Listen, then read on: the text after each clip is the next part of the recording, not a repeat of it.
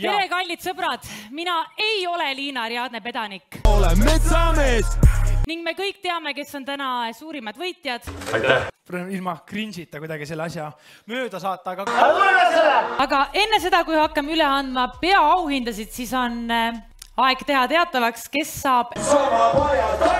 jaa. Miša, tule siia noh.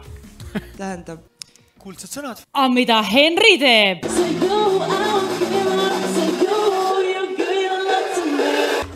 Kas me oleme millestki valesti aru saanud või?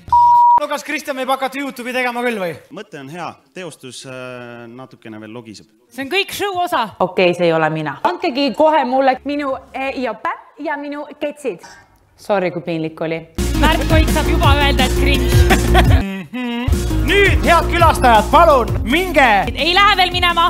mina lõpetan tunni, mitte kell. Carlos, mis toimub? kunagi olid kõva Youtuber ja littisid niimoodi, et kõik vaatasid sind ja. ei, siis sa vist ei võida täna, mul on siuke tunne. Marti Hallik ei võidagi kõiki kategooriaid. see aasta on võitjaid natukene rohkem. temale jäi kõrva kõlama Victoria Villigu lause. ka see aasta ei kanna. Ja kes sai just endale uue Instagrami pildi caption'i? Vau, Äh, mis, kuidas ma sõnastaksin, mida Martti Hallik on Eesti Youtube'i maastikul saavutanud? ma olen nominatsioonidega väga rahul, ütleks niimoodi. produktsiooniauhinnad toob teieni hopsti, hopsti, hopsti, nii. lubasina, ma tänan oma sõpru Alissa, Kairi äh,, Hanna, Cecilia, Marleen.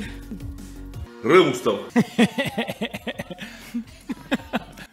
aitäh, aitäh. Ma tahan su telefoninumbrit ka.